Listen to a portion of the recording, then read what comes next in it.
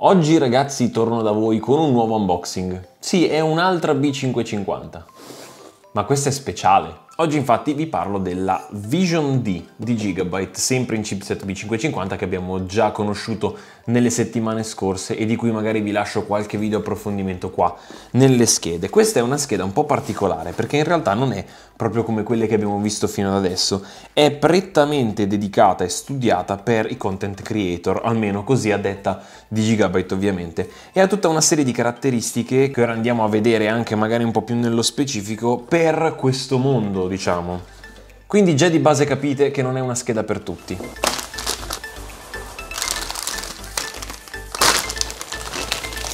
E già il design è bello fuori dal comune, ma ne parliamo tra un attimo. Nella confezione, invece, vediamo un po' che c'è. Guida all'installazione multilingua. Il classico libretto di istruzioni con un vetustissimo CD, ormai ci perdo le speranze. Fatemi sapere se avete un lettore CD ancora nel computer, commentate e fatemi sapere. Dopodiché, scomparto 1, ovviamente cavo adattatore per gli RGB, ovviamente un buon numero di SATA perché essendo una scheda per content creator almeno un 4 SATA ce li ha, infatti questi sono proprio 4, mentre nell'altra parte il comodissimo adattatore per i pin che connettono il case e tutto il pannello input-output del case alla scheda madre, super comodo, e il mega antennone per il Wi-Fi 6. Ovviamente stradi design come tutto il resto della scheda, molto carino. Mi aspettavo una confezione un po' più ricca, però beh, passiamo a vedere la scheda. Al di là delle caratteristiche e compatibilità tipiche del chipset che appunto abbiamo già imparato a conoscere, la scheda monta delle specifiche particolari perché come detto appunto è dedicata a un mercato molto particolare, ovvero quello dei content creator, che tendenzialmente hanno bisogno di tutta una serie di caratteristiche abbastanza importanti, ovvero ad esempio i dischi ultra veloci, qui c'è la, la disponibilità per due slot 3.0/4.0 per quanto riguarda lo standard di PCI Express e nel secondo caso sempre da 3.0 ma entrambi a 4 linee di disponibilità. C'è la predisposizione per una doppia GPU, entrambe le porte sono a 16x quindi entrambe possono montare schede anche ovviamente incluso il nuovo standard PCI Express quindi il 4.0 e una terza eventuale anch'essa a 16x per eventuali configurazioni di schede di accelerazione o eventuali aggiunte appunto alla configurazione. Per quanto riguarda la configurazione di dissipazione della parte dei VRM e dell'alimentazione della CPU, come vedete, qui c'è tutto un sistema un po' ricurvo, un po' molto particolare, molto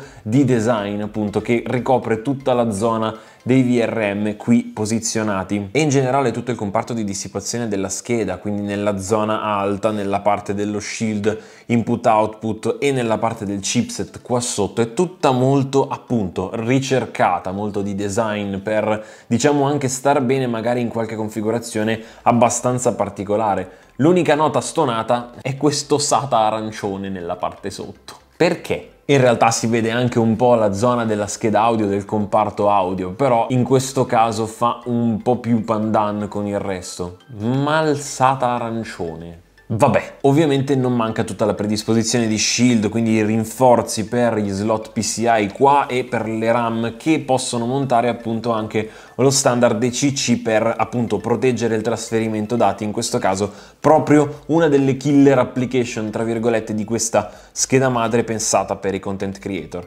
Disponibilità per ventole io ne vedo infinite perché ce n'è una a fianco al connettore per l'alimentazione che voi adesso non state vedendo ma è qui il connettore dell'alimentazione tra l'altro che è coperto da questo mini shield che potete rimuovere nel momento in cui andate a collegarlo due nella parte superiore, quindi classico CPU fan e pump fan, tre nella parte laterale e altre due nella parte sotto, più un sacco di collegamenti per quanto riguarda le USB interne, USB 3.0, collegamento input-output, SATA, sia qui sia nella parte laterale, il classico pannellino a LED di debug per appunto i codici di errore nel caso dovesse succedere qualcosa. L'unica cosa che davvero manca e non riesco a capire il perché, è sempre la header per l'USB-C frontale del case, per le USB-C integrate nel case. Qui in questo caso abbiamo una USB 3.2, quindi le porte classiche, le porte standard in Type A, ma per la Type C non riesco a capire come mai non c'è una header. Solitamente è una scelta che si fa sulle schede mini TX, ma su questo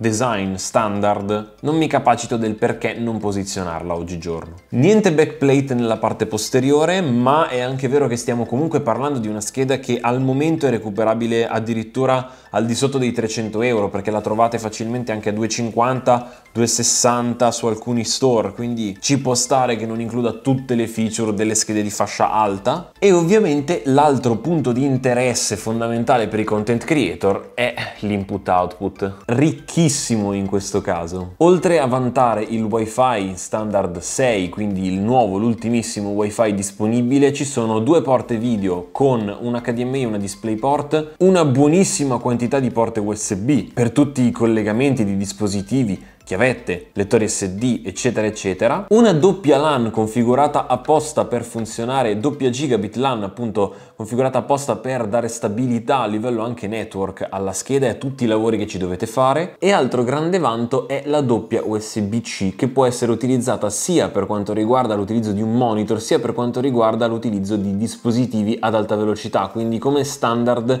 abbiamo il doppio collegamento che può essere utilizzato come trasferimento classico ma anche per appunto aggiungersi alla serie la capacità di porte video disponibili. Da questo punto di vista è probabilmente una delle B550 più fornite a livello di input-output. Nel complesso la scheda è davvero super accattivante perché ha questo design molto particolare che personalmente apprezzo moltissimo, ha tutte le scelte di efficienza e tutte le scelte per quanto riguarda noi content creator che possono diciamo essere quelle più desiderate in generale, supporterà chiaramente i Ryzen di quarta generazione come come tutte le B550, gli shield per gli M2 per appunto mitigare le temperature anche nello standard più recente, quindi il 4.0, le porte input-output, la dissipazione in generale della scheda dei VRM, del chipset. Insomma, di caratteristiche davvero molto molto interessanti ne ha quante ne volete. Ovviamente non è una scheda diciamo consumer, quindi state comunque spendendo 200 e passa euro per una scheda di questo tipo che è dedicata prettamente a un tipo di pubblico molto particolare. Ma ovviamente la parola adesso rimane a voi. Fatemi sapere che cosa ne pensate di questa Vision D di Gigabyte, io ovviamente vi lascio